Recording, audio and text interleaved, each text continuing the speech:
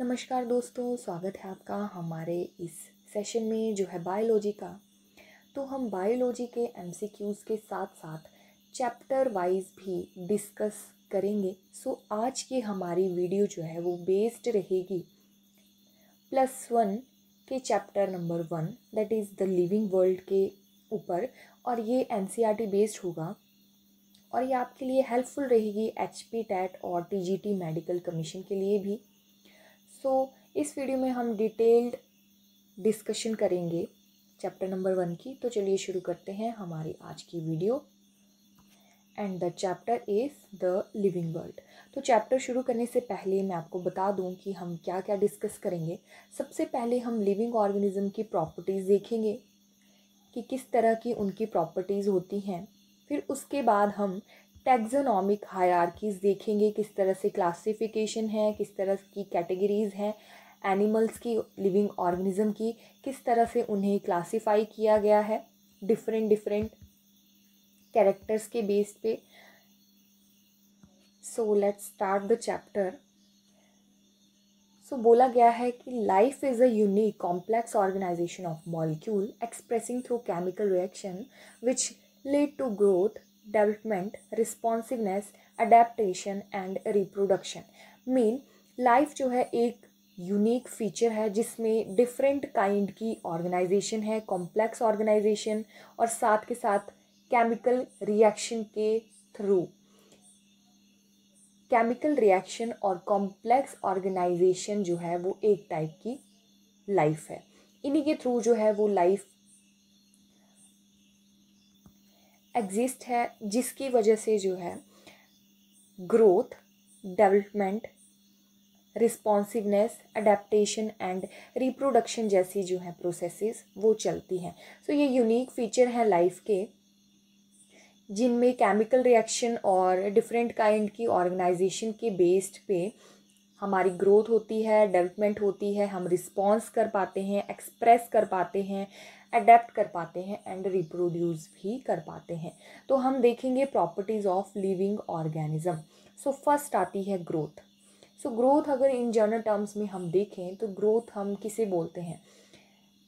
Generally अगर किसी चीज़ में साइज़ uh, इंक्रीज़ हो रहा है या फिर मास इंक्रीज़ हो रहा है उस चीज़ में डिवीज़न हो रही है। चाहे उसके फ़िज़िकल अपेयरेंस में कोई भी चेंज हो रहा है उसे हम ग्रोथ बोल देते हैं। फॉर एग्ज़ाम्पल जैसे कोई छोटा बच्चा है दो साल का, जब हम उसे तीन साल का होगा तो वो उसकी लेंथ जो है, उसकी हाइट इंक्रीज़ हो जाएगी। तो उस चीज़ को हम बोल सकते हैं ग्रोथ सो ग्रोथ जो है, वो कुछ नहीं increase in number and mass of cell by division है। सेकेंड है, अगर प्लांट ग्रोथ की बात करें तो प्लांट जो है, उनके सेल डिवाइड करके कंटिन्यूसली ग्रोथ करते हैं और प्लांट की जो है हाइट वो उसका फ़िज़िकल अपेयरेंस जो है वो चेंज हो जाता है तो उसे हम ग्रोथ बोल देते हैं। अब एनिमल्स की बात करें तो एनिमल्स में जैसे अभी मैंने बच्चे का एग्ज़ाम्पल दिया तो वो एज का ही एग्ज़ाम्पल था। तो एनिमल्स में ग्रोथ जो है वो कैसे होती है? सेल डिवाइड करते हैं और रिप्लेस कर देते हैं जो डेड सेल या फिर लॉस सेल जो होते हैं तो मान लो ये डेड सेल्स हैं, ये रिप्लेस्ड हो जाएँगे न्यू सेल से और इनकी डिवीज़न हो जाएगी और ये ग्रो कर जाएँगे। So this is in general is called as a growth so basically growth को हमने बोला गया है कि जब इंक्रीज़ होता है मास एंड साइज़ में तो उसे हम ग्रोथ बोल देते हैं। But this is not the living character this is not the character of living organism because non living जो ऑब्जेक्ट्स होते हैं वो भी ग्रो करते हैं। फॉर एग्ज़ाम्पल फॉर एग्ज़ाम्पल किसी बकेट में हमने आ, पानी भरा मतलब वो आधी बकेट भरी और जब हम उसे बाहर से कुछ और लिक्विड ऐड करेंगे तो वो उसका लेवल जो है वो इंक्रीज़ हो जाएगा। तो एक टाइप से उसका लेवल इंक्रीज़ हो रहा है मतलब वो ग्रो कर रहा है उसका मास भी चेंज हो रहा है उसका साइज़ भी चेंज हो रहा है। तो इन जनरल टर्म्स में हम बोल सकते हैं कि उसकी ग्रोथ हो रही है। So this is not the sufficient characteristics for the living organism that's uh, identify the living organism मतलब इसके बेस पे हम ऐसा नहीं बोल सकते हैं कि ये ग्रोथ जो है वो एक लिविंग ऑर्गेनिज्म का इंपॉर्टेंट करेक्टर है।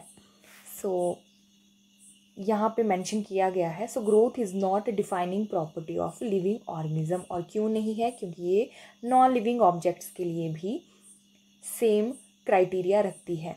तो जो लिविंग ऑर्गेनिज्म में है, वो ग्रोथ जो है, वो इंट्रेंसिक होती है। आपको मैं बता चुकी हूँ कि सेल डिवीज़न के थ्रू जो है, वो ग्रोथ होती है लिविंग ऑर्गेनिज्म में।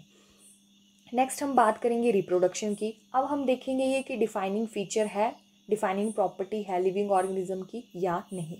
तो सेकंड आता है रिप्रोडक्शन अब रिप्रोडक्शन क्या होता है? जब मेटिंग होती है मेल एंड फीमेल गेमेट की, वो फ्यूज़ करते हैं जाइगोट बनता है एंड देन नेक्स्ट उनके यंग वंस होते हैं। So that process is called as reproduction तो ऑर्गेनिज्म जो है, वो बोथ सेक्शुअली और असेक्शुअली रिप्रोड्यूस करते हैं।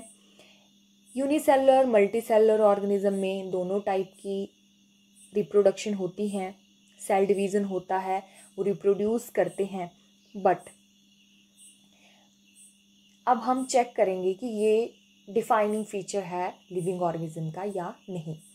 कुछ केसेस में ऐसा होता है कि इनफर्टाइल इनफर्टाइल ऑर्गेनिज्म जो है वो रिप्रोड्यूस हो जाते हैं. फॉर एग्ज़ाम्पल जैसे म्यूल्स हैं एंड वर्कर बीज हैं. म्यूल एंड जो वर्कर बीज हैं वो आगे इनफर्टाइल होती हैं मीन्स वो आगे रिप्रोड्यूस नहीं कर सकती.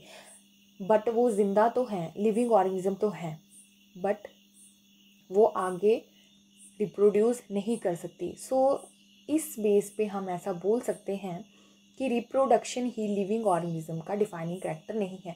क्योंकि ऐसा है, अगर हम ऐसा बोलें कि yes reproduction is the defining character of living organism so ये म्यूल्स हैं वर्कर वीज हैं, जैसे ह्यूमन में भी होते हैं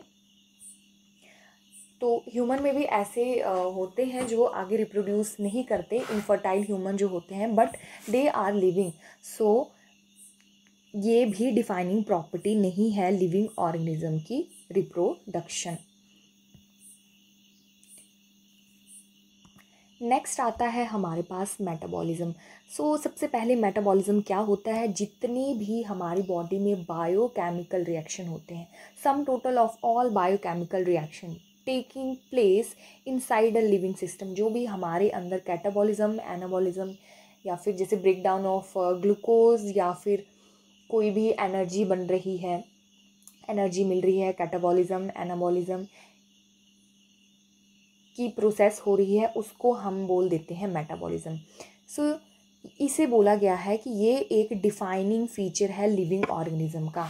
अब देखिए कैसे क्योंकि मेटाबॉलिक रिएक्शन जो होते हैं वो डेमोन्स्ट्रेट होते हैं outside the body in cell free system तो सेल के बाहर आउटसाइड द बॉडी मतलब ये जो हैं मेटाबॉलिक रिएक्शंस होते हैं।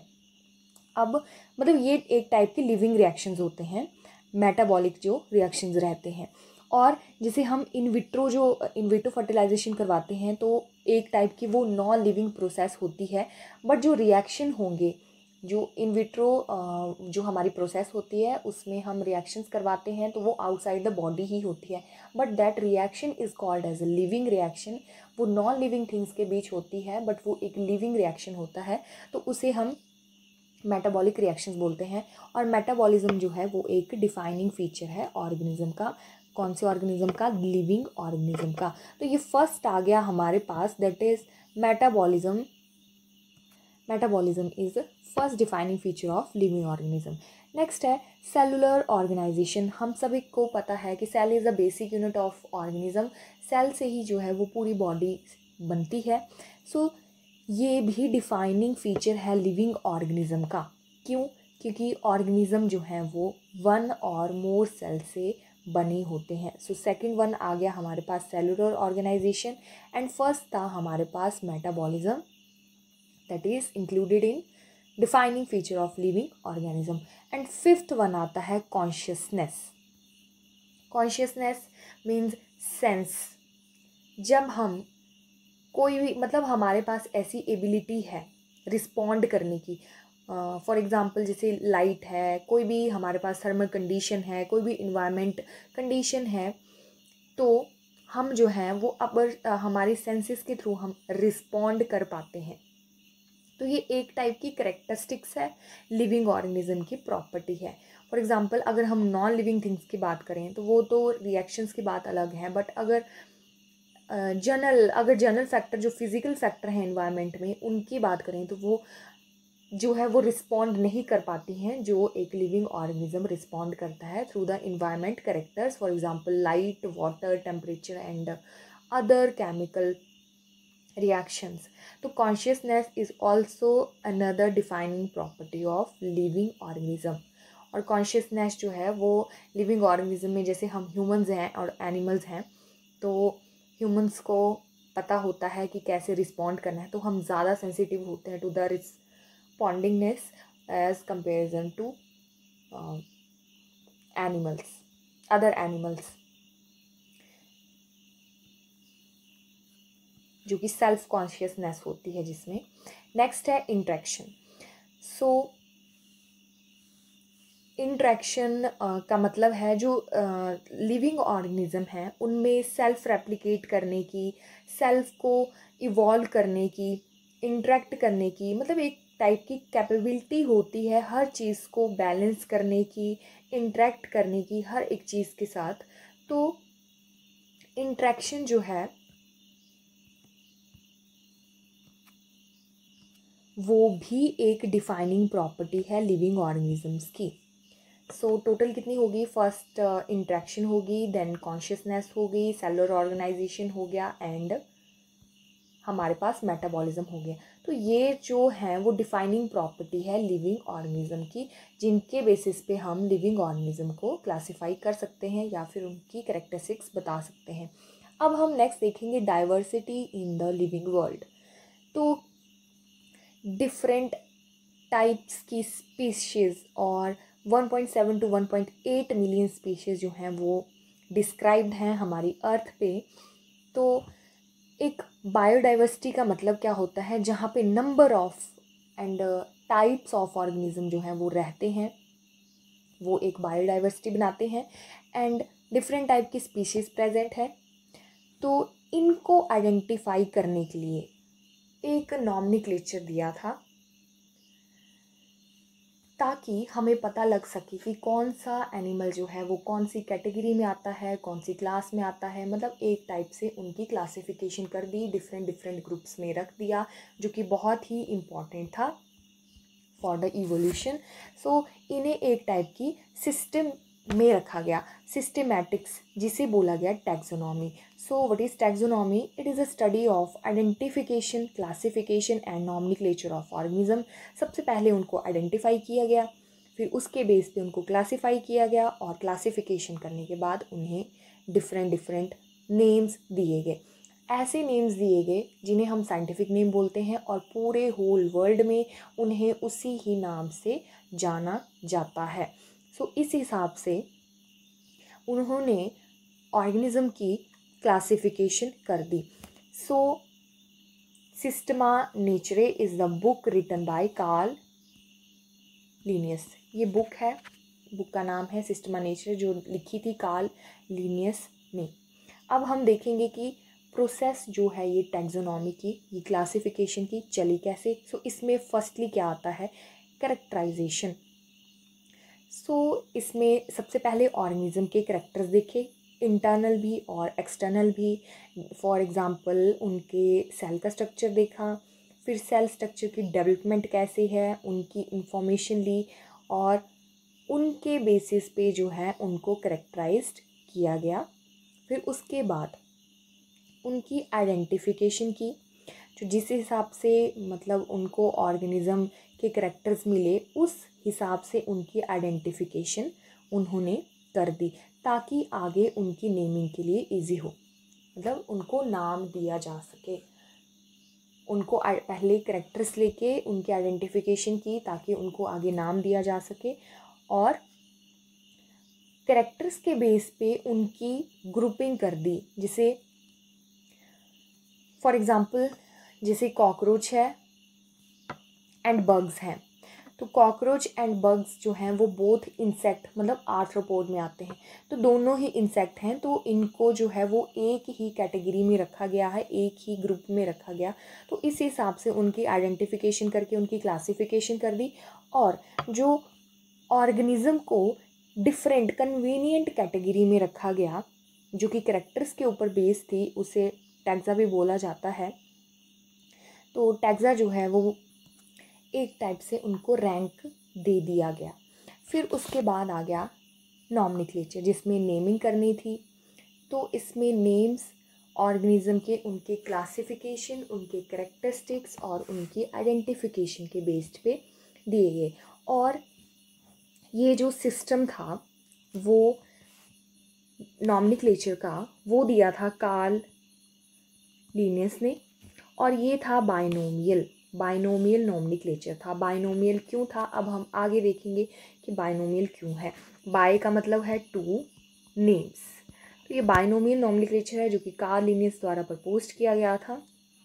सो फ़र्स्ट पॉइंट है botanical names are based on the rules in international code for botanical nomenclature इसकी फुल फॉर्म है आईसीबीएन की international code for botanical nomenclature so first बोला गया कि ICBN के अंडर जो हैं, वो बोटैनिकल नेम्स आएँगे. Means plants plants herb shrubs जो भी हैं ट्रीज़ हैं, उनके नेम जो हैं, उनकी नॉमिनिक्लेचर जो है, वो ICBN के अंडर आएगी. नेक्स्ट है I C Z N that is international code for zoological nomenclature वो आएगी आपके पास जितने भी हमारे पास एनिमल्स होंगे. एनिमल स्पीशीज़ जो होंगी, वो आएँगी आई सी जेड एन के अंडर. एंड नेक्स्ट है nomenclature of bacteria international code for nomenclature of bacteria I C जितने भी हमारे पास बैक्टीरिया होंगे, उनके नॉमिनिक्लेचर जो है, उनकी नेमिंग जो है, वो एन के आई सी एन बी के अंडर आएगी। And last one is I C V N and here V is for viral तो जितने भी हमारे पास वायरसेस का नॉमिनिक्लेचर आएगा, वो आएगा आई सी वी एन के अंडर सो ये हमारे पास चार थे जिनके अंडर कोड्स आएँगे plants animals bacteria and viruses के। अब हम कुछ रूल्स दिए थे इन्होंने बाइनोमियल नोमनिक्लेचर के। यूनिवर्सल रूल हैं वो वो चलेंगे पूरी यूनिवर्स में एक स्पेसिफिक जगह पे नहीं वो पूरे यूनिवर्सल रूल्स होंगे जिसके अकॉर्डिंग जो है वो साइंटिफिक नेम फॉलो किए जाएँगे। सो so, फ़र्स्ट है scientifics name are in Latin और Latinized and written in italics जो साइंटिफिक नेम होंगे, वो लैटिन होंगे, और उन्हें इटैलिक्स में लिखा जाएगा, और जब भी हम साइंटिफिक नेम लिखेंगे तो वो अंडरलाइन किए जाएँगे, क्योंकि इटैलिक्स तो हम लिख नहीं सकते हैं तो जब भी हम साइंटिफिक नेम लिखते हैं तो उसे हमेशा ही हम अंडरलाइन करते हैं। तो इन्होंने बोला था second rule the first word is genus तो वो जेनरिक नेम होगा and the second word second word is a species name वो स्पेसिफिक एफिटैट होगा। सो so, फ़र्स्ट आ गया हमारे पास genus and second one is species so first आता है जीनस एंड सेकेंड आता है स्पीशीज़ इसी के बेस्ड पे क्योंकि ये फॉर एग्ज़ाम्पल जैसे ये होमो सेपियंस है तो होमो है हमारे पास जीनस एंड सेपियंस है हमारे पास स्पीशीज़ सो so, नाम ये पूरा एक ही है बट इसमें कितनी टर्म्स आ रही हैं? दो टर्म्स आ रही हैं। जीनस और स्पीशीज तो इसीलिए इसे बाइनोमियल बोला गया था। बाइनोमियल नोमनिक्लेचर एक नाम में दो टर्म्स आएँगी तो इसीलिए इसे बाइनोमियल नोमनिक्लेचर बोला गया था। नेक्स्ट रूल आता है कि जो फ़र्स्ट पे हम जीनस नेम लिखेंगे, वो कैपिटल लेटर से शुरू होगा एंड जो स्पीशीज़ होगी, वो स्मॉल लेटर में होंगी। और लास्ट में जो है वो एब्रीवेटेड फॉर्म में एब्रीवेटेड फॉर्म का मतलब होता है शॉर्ट फॉर्म में। फॉर एग्जांपल यहाँ पे इन्होंने दिया है मैंगो का मैग्नीफेरा इंडिका ये मैंगो का साइंटिफिक नेम है और लीनस जो है, क्योंकि कार्ल लीनस ने जो है वो हमारे पास नॉमिनिक्लेचर दिया था तो कार्ल लीनस का एल आई डबल एन जो है वो साइंटिस्ट का नेम है या फिर ऑथर का नेम है। And first one is this is genus and this is species तो स्पीशीज़ जो है, इन्होंने स्मॉल लेटर में लिखी हुई है एंड जीनस जो है, वो कैपिटल लेटर से स्टार्ट है। तो ये यूनिवर्सल रूल है और जब भी हम लिखेंगे तो इन्हें इटैलिक्स में लिखेंगे और जब भी हम हैंड रिटन होगा तो हम इन्हें ऑलवेज अंडरलाइन करेंगे। So this is all about the basic universal rules for the binomial nomenclature and next आती है हमारे पास टेक्जोनॉमिक कैटेगरीज अब हमने ऑर्गेनिज़म को क्लासीफाई तो कर दिया था, उनकी नेमिंग तो कर दी थी बट अब हमने उनको रैंक देने थे डिफरेंट डिफरेंट कैटेगरीज में रखना था। तो इसके लिए टैक्सोनॉमिक हायरार्की टैक्सोनॉमिक कैटेगरी आई, जिसके हर एक कैटेगरी का हर एक रैंक था, हर एक टैक्जन था। और taxon is the unit of classification तो टैक्सन जो है वो एक टाइप का रैंक बोल सकते हैं हम एक टाइप का कैटेगरी बोल सकते हैं, जो कि बेसिक यूनिट थी क्लासिफिकेशन की। सो फ़र्स्ट किंगडम है देन फाइलम है देन क्लास है देन ऑर्डर है देन फैमिली है then genus and then species है। तो ये हमारे पास टेक्सोनॉमिक हायरार्की है और group of organism occupying a particular category is called taxon ये जो अभी बोला आपको कि बेसिक यूनिट जो है वो क्लासिफिकेशन की। तो सबसे पहले हम देखेंगे लोएस्ट कैटेगरी से शुरू करेंगे, जो कि आएगी स्पीशीज़ और स्पीशीज़ अभी हमने पढ़ा कि स्पीशीज़ बर्ड जो है वो लास्ट में लिखा जाता है, और ये लोएस्ट कैटेगरी है हायरार्की की. तो यहाँ पे कुछ कॉमन नेम है फॉर एग्जांपल मैंगो है मैग्नीफिरा जेनरिक नेम है स्पेसिफिक एफिटेट उसका इंडिका है देन पोटैटो है सोलेनम है इसका जेनरिक नेम एंड ट्यूबरसम है इसका specific epithet then nightshade है Solanum nightshade tomato brinjal इन सभी का जेनरिक नेम जो है वो सेम होता है एंड जो स्पीसीज होती है वो डिफरेंट होता है. एंड लाइन एंड टाइगर की जो जेनरिक नेम होता है and third one is Panthera that is for leopard leopard lion and tiger जो है वो सेम जेनरिक नेम के होते हैं, बस इनकी जो स्पीशीज़ एफिटैट होता है वो स्पेसिफिक एफिटैट होता है वो डिफरेंट होता है एंड मॉडर्न मैन का नेम है होमोसेपियंस एंड अब होमोसेपियन सेपियंस लिखते हैं। सो so, ये थी स्पीशीज़ की जो कि लोएस्ट कैटेगरी है और उसके बाद आती है जीनस सो so, जीनस में जो है वो क्लोजली रिलेटेड स्पीशीज होती हैं। वो आएँगी फॉर एग्ज़ाम्पल जैसे पोटैटो टोमेटो ब्रिंजल जिनका जो है जीनस सेम होता है। वो एक ही कैटेगरी में, ये अब किस हिसाब से क्लासीफाई किया है इनको? फॉर एग्ज़ाम्पल जैसे इनके करेक्टर्स लिए होंगे पोटैटो का टोमेटो का ब्रिंजल का, इनके करेक्टर्स लिए होंगे तो इनको सेम ही जीनस में रखा है, जो कि हमने अभी देखा, जैसे Solanum and lion and tiger and leopard जो हैं, इनके जीनस भी सेम है दैट इज़ पैंथरा और कैट्स बट कैट्स जो हैं कैट का जीनस जो है, वो डिफरेंट होता है दैट इज़ फैलिस तो बोलने का मतलब ये है कि जो क्लोजली रिलेटेड स्पीशीज़ होती हैं अकॉर्डिंग टू देयर करेक्टर या फिर अकॉर्डिंग टू देयर आइडेंटिफिकेशन उन्होंने जीनस में जो है, इनकी जो क्लोज रिलेटेड स्पीशीज़ हैं, उनको एक ही जेनरिक नेम दे दिया गया या फिर एक ही जीनस में रखा। नेक्स्ट आता है जीनस के बाद फैमिली तो फैमिली अब पहले क्या हुआ? पहले आई थी स्पीशीज़ सो so, क्लोज सबसे पहले स्पीशीज़ आई जो लोएस्ट कैटेगरी थी। एंड उसके बाद आया जीनस तो जीनस में हमने किसको रखा? जो क्लोज रिलेटेड थे स्पीशीज़ के। अब हम जीनस के बाद आएँगे फैमिली में। तो फैमिली में किसको रखेंगे जो क्लोज रिलेटेड होगी? जीनस के। And then order then class then phylum and most exclusive जो आती है वो आता है किंगडम तो फैमिली में भी हम ऐसे ग्रुप्स को रखेंगे जो क्लोज रिलेटेड होंगे जीनस के। फॉर एग्ज़ाम्पल सोलोनेशिए तो ये सोलोनेशिए जो है फैमिली है किसकी? सोलेनम की। एंड जिसमें आता है हमारे पास पोटैटो टोमेटो ब्रिंजल ये सब जो हैं, वो सोलोनेसिए फैमिली से बिलोंग करते हैं। एंड नेक्स्ट है पिटीनिया एंड जीनस दतूरा और ये फैलिडी जो है, वो हमारे पास कैट का, जिसका जीनस है फैलिस ये सब है मतलब इसके अकॉर्डिंग जो है फैमिली जो क्लोजली रिलेटेड होगा जेनरिक नेम के, उसके अकॉर्डिंग जो है हम फैमिली की क्लासिफिकेशन करेंगे। नेक्स्ट आता है हमारे पास ऑर्डर तो ऑर्डर ऑर्डर जो है वो असेंबलेज होगा। फैमिलीज़ के एग्ज़ाम्पल ये हैं कुछ ऑर्डर के देन ऑर्डर के बाद क्लास आती है। देन आएगी क्लास जो कि रिलेट करेगी ऑर्डर से।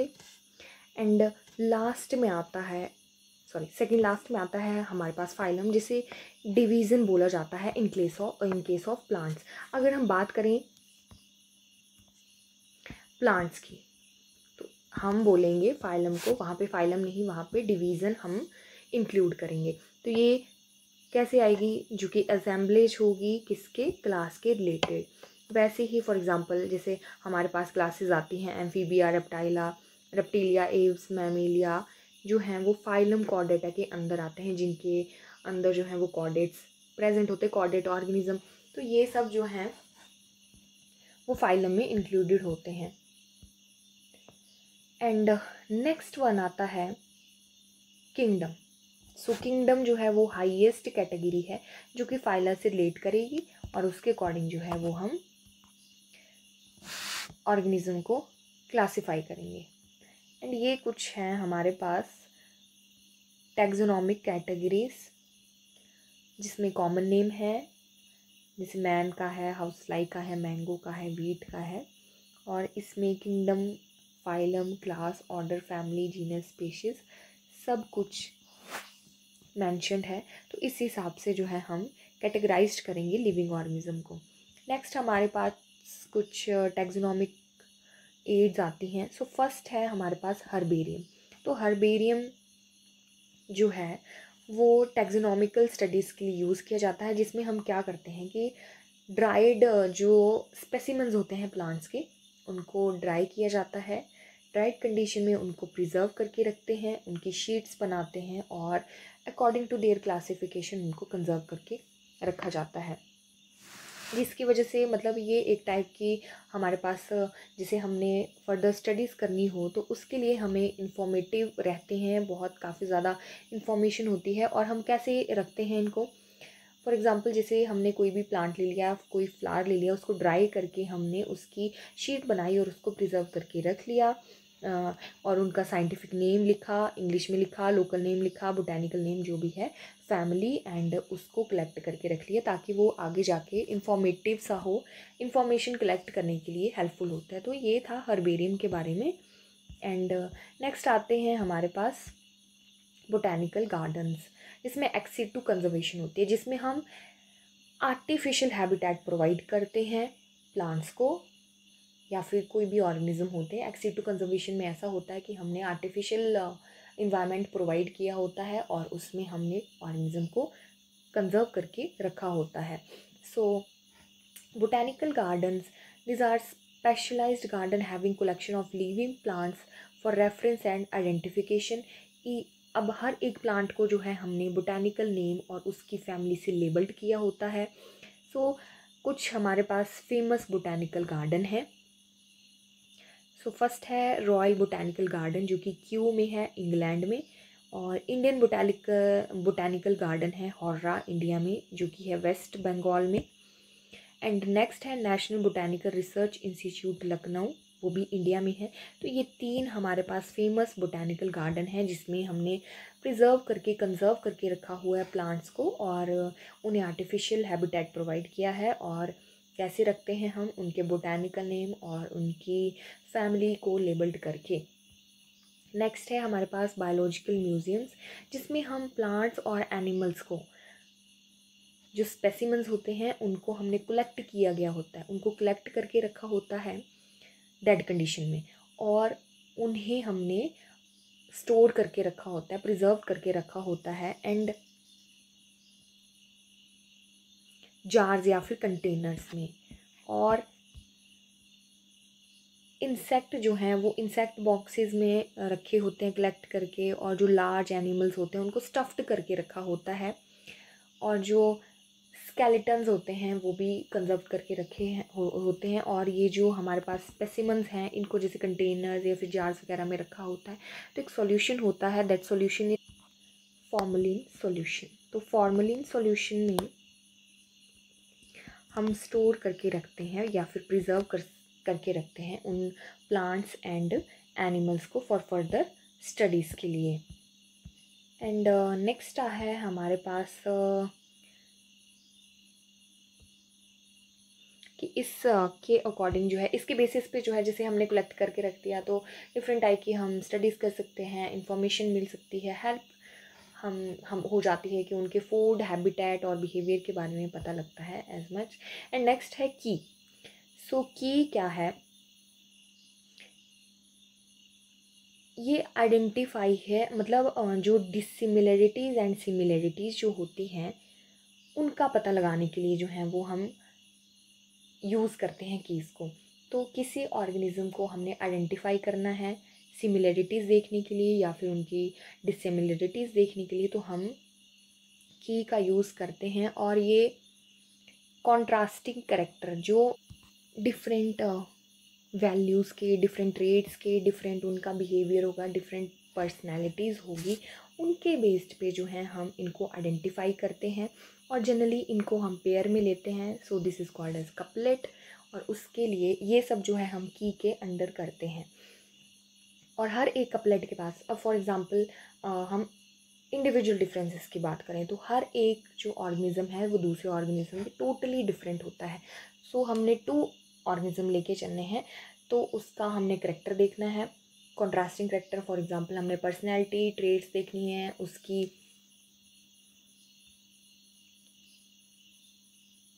पर्सनैलिटीज़ या फिर हमने करेक्टर्स देखने हैं। फ़िज़िकल अपेयरेंस ही देखनी है बिहेवियर ही देखना है तो हम एक का पॉजिटिव होगा, एक का नेगेटिव होगा, या फिर कुछ भी हो सकता है टोटली डिफरेंट होंगे। तो हम कपलेट की फॉर्म में लेके चलते हैं और हर एक कपलेट जो है, उसके पास दो ऑप्शन अपोजिट ऑप्शन का मतलब है, उनमें टू इंडिविजुअल या फिर टू ऑर्गेनिज्म या फिर टू स्पेसिमेंस ऑफ़ प्लांट्स और एनिमल्स जो हैं, वो इंक्लूडेड होंगे। तो उसमें से जो अच्छे वाला है, जो पॉजिटिव हो गया, उसको एक्सेप्ट कर लेते हैं और दूसरे को हम रिजेक्ट कर देते हैं। और जो की की हर एक स्टेटमेंट होती है उसे बोला जाता है lead the each statement of key is called as lead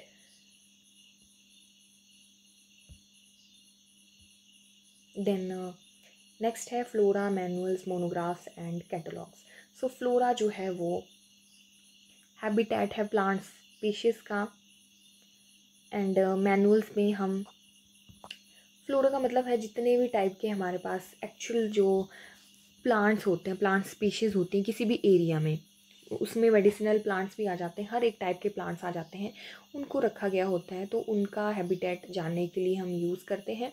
and next है जो मैनुअल्स हैं, इसमें हम जो भी स्पीशीज़ होती हैं, उनके आइडेंटिफिकेशन जो भी किसी भी पर्टिकुलर एरिया में कितने भी प्लांट्स प्रेजेंट हैं, किस टाइप की स्पीशीज़ प्रेजेंट हैं, उनके रिकॉर्ड कंटेन करके रखते हैं एंड मोनोग्राफ्स जो हैं, उनमें हम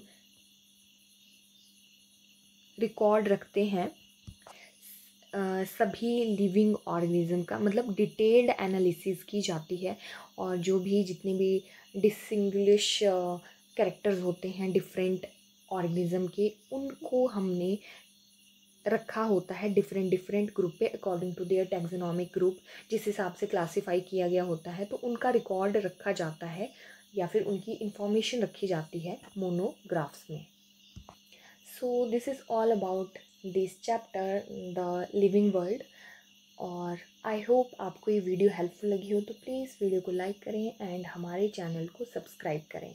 नेक्स्ट वीडियो में हम नेक्स्ट चैप्टर डिस्कस करेंगे डिटेल में। सो बने रहें हमारे चैनल के साथ।